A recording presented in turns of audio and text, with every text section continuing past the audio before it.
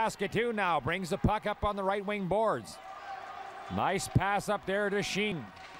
Schenn rather as he fires the puck in high off the glass. Brayden Schenn as the play comes around in front, scores! Schenn now with it. Play action very feverish here in the early going as the